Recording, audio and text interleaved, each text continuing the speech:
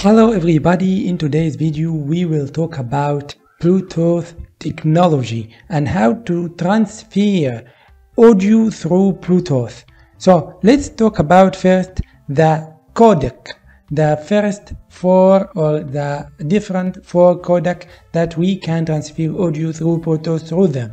aptX, LDAC, SBC and AAC and others. Let's see.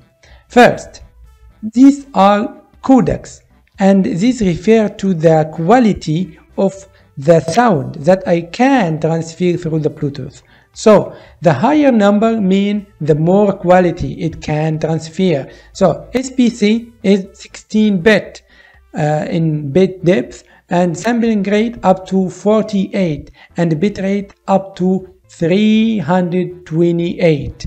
But here I have here an example of SBC the EarFun Air Pro 3 AirBuds support LC3. LC3 is something like succession of SBC. So I have here AAC. AAC is Apple. Apple using this codec. This codec up to 24 bit in bit depth and also sampling rate, sampling rate 44 and bit rate up to 320 and this example for AAC. Apple AirPod Pro second generation. And also I have aptX. Bitrate 16 up to 24, sampling rate 48, and bitrate 300 up to 576.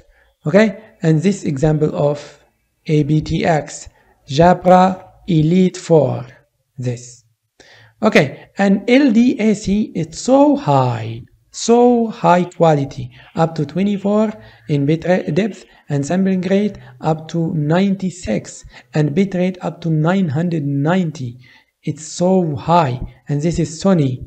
This can use LDAC and LHDC and this is extremely high up to 24 bit and up to 9, 96 and here up to 1600 kbs kilobyte per second.